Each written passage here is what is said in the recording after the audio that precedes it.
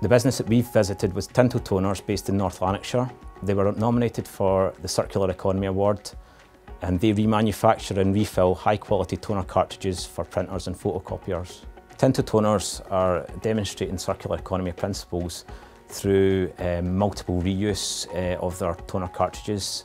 Um, Tinto toners have extended uh, the shelf life of a toner cartridge from one use to multiple up to seven times reuse uh, through remanufacturing, refilling and ultimately reuse of the cartridge. Several of the good practices uh, that were shown on the day of the audit um, were suggested by the team members throughout the various departments within Tinto Toners.